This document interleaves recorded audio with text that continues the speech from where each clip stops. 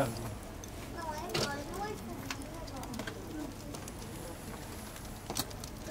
Sim, claro que se puseres aqui uma coisa aqui do lado, é o suficiente para cozinhar um pão ou o que